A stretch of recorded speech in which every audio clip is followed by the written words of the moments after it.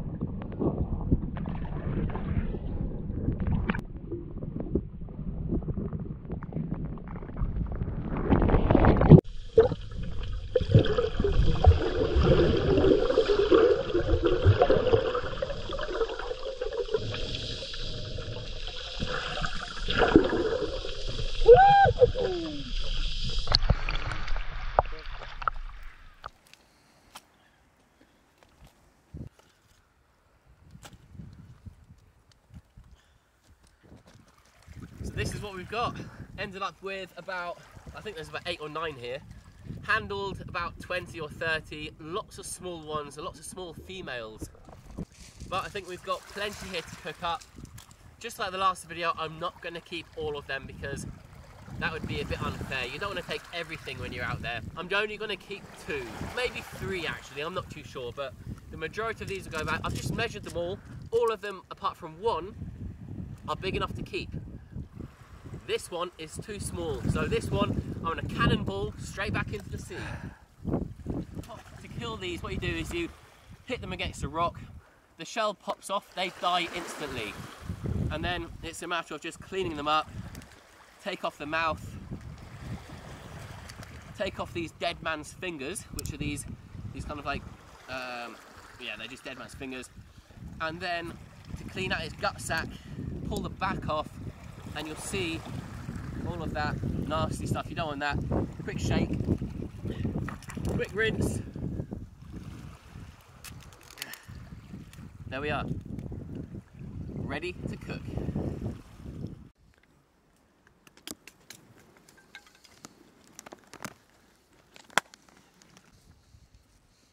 Okay, so we're cooking these a slightly different way today.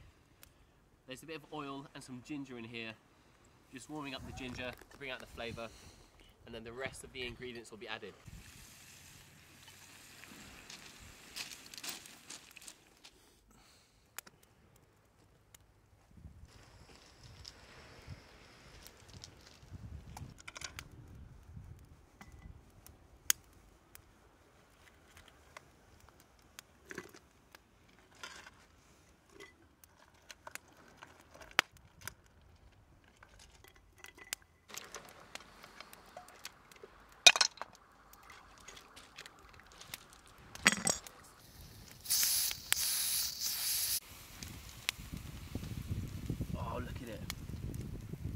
smells incredible.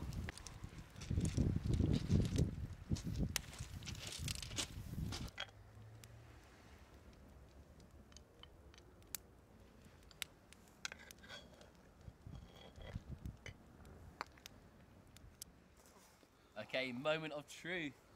Any good? moment of truth. It smells incredible. It looks incredible. Real nice broth just from looking at it, it looks real nice, full of flavour. But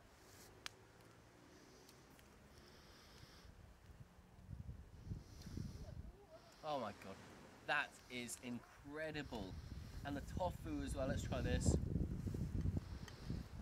Yeah, you're right. The white pepper. There's a little bit of that. Is it like a Chinese chicken stock? Uh, a bit in a powder form. Super tasty.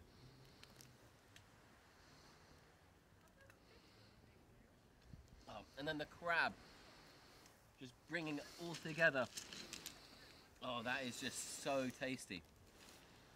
I'll tell you what. I just want this to cool down a bit so I can just slurp on the whole lot.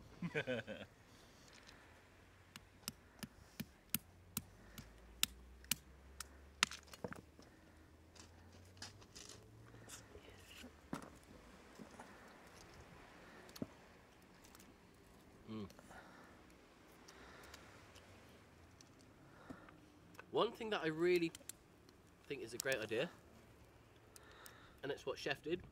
Chef.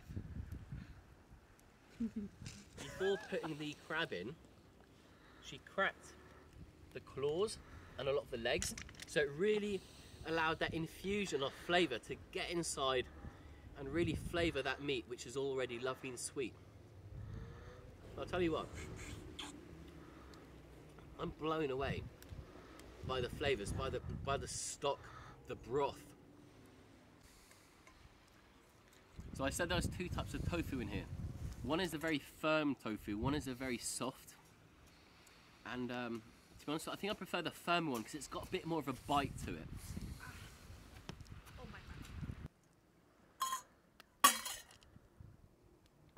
Thank you so much for watching. If you haven't already, please do me a massive favour. Press the subscribe button. Don't forget to give it a like. And uh, if you like this sort of thing, or if you can suggest other food or other ways of cooking a crab, especially using this, this, well, I didn't really mention it. This is a Afghan pressure cooker designed for a fire. If you've got any ideas of what I can cook in that, whether it's meat or crab, let me know. Drop the recipe down in the comment section below. I'm gonna go down there, wash my hands. See you in the next video. Goodbye.